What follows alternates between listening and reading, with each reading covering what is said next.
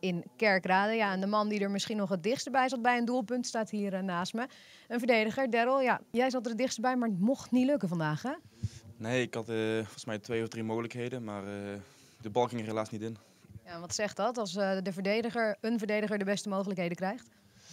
Ja, we weten dat we met uh, standaard situaties kunnen we gevaarlijk zijn. Maar natuurlijk met, met spel hebben we ook natuurlijk kansen gehad. Maar ja, daar moeten wij ook onze kans van krijgen. Ja, ja maar niet, niet zoveel hè? Gewoon voetballende kansen. Nee, dat valt inderdaad wel tegen. Maar ik denk wel dat we heel veel overwicht, overgewicht hadden in deze wedstrijd. En, met een beetje, beetje meer gochme in die, in die eindfase, dan, ja, dan kunnen we eigenlijk, ja, moeten we eigenlijk een doelpunt maken. Ja, ja, vooral in die eerste helft denk ik, toch? Ja, met name de eerste helft. Ja. Maar ik denk ook nog de tweede helft ook nog wel. Ja, toen kreeg jij inderdaad begin van die tweede helft nog een kans. Maar toch, je staat hier weer met lege handen. Ja, wanneer houdt het op? Hopelijk zo snel mogelijk. Dus natuurlijk zitten nu een, uh, beetje in de klappen vallen. En, uh, we moeten eigenlijk gewoon nu doorgaan met, met, met arbeid leveren. Gewoon keihard werken. We moeten zorgen dat we zo snel mogelijk uitkomen. Ja, is dat voor jou dan nog extra moeilijk? Ik bedoel, een vreemdelingen, nou, het is geen vreemdelingenlegio, maar toch ook wel veel jongens die hier niet vandaan komen. Jij dan wel. Hoe is dat voor jou als echte jongen van de club? Dat is voor mij geen probleem eigenlijk. Uh, ieder, iedereen kan Engels, uh, Nederlands. Dus we kunnen ons gewoon goed communiceren, dus dat, dat is het probleem niet. Nee, maar ik bedoel, hoe het voor jou is dat het zo slecht gaat nu?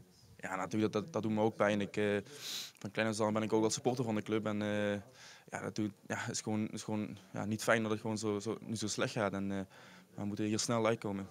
Ja, en wat is dan de enige remedie? Drie punten, maar hoe ga je die pakken? Ik bedoel, dit is al de zesde wedstrijd zonder goals.